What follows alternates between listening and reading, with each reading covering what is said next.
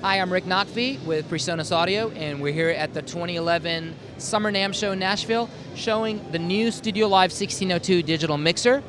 Uh, the 1602 is the new baby in a family of three Studio Live mixers. Uh, it features 16 analog inputs, and it has 12 XLR mic inputs, and then also the last four inputs are stereo line level, so it's a total of 16 analog inputs. Now, each one of your inputs features a full EQ and dynamic section. This is this blue section right in the middle. We call it the fat channel. So basically, if I select any one of my channels, here's all of my EQ and dynamics for that particular channel. So if I go from left to right, you've got a high pass filter, a noise gate, a compressor, and a three band sweepable EQ. Plus, on the fat channel, you also have panning for that particular channel. You have phase reverse, you have 48 volt phantom power, and then you have this really cool uh, clipboard section where you can copy one channel to another. So let's say if this channel is really cool and I like it, if I hit copy, it'll blink saying where do you want to paste it to. I can paste it to 7, 8, and 9, hit load, done. So it's a very, very fast workflow. You also have the ability to load in presets from the mixer. We've created uh, tons of different preset fat channel settings for you, and you can, of course, edit these and create your own and use the factory presets as a good starting point.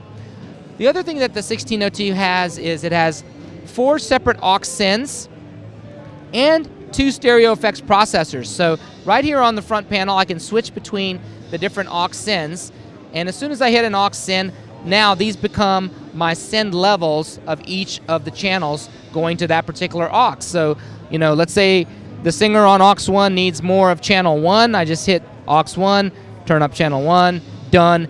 But then when I go to aux 4, you can see it's a totally different setting. So you can really easily look and see where everybody's auxes are set at. And the same goes for the effects processors as well.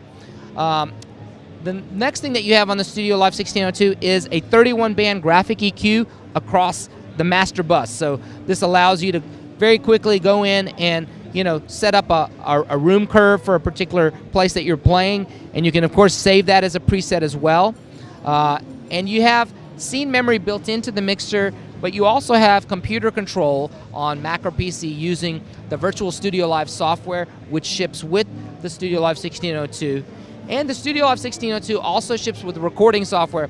You know, it's a FireWire mixer, and recording was not an afterthought with this. So a lot of bands and musicians that are wanting to be able to incorporate stuff that they've created in the studio and bring it out live, this is a great tool. So, you know, right here from the, the mixer, I can basically hit this FireWire button, and then I can engage, let's say, a couple of streams coming from the computer that show up right on faders.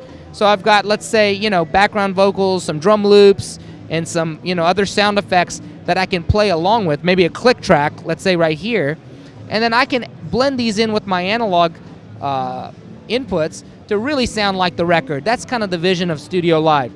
So the 1602 ships with Studio One Artist recording software, which is our Mac and PC application. And also, if you just want to do a quick live recording, it also ships with PreSonus Capture software, which is just really the quickest and easiest way to just hit and record, you know, all of your inputs and then deal with them later on. And uh, the 1602 has a US map price of $12.99. It's now available worldwide.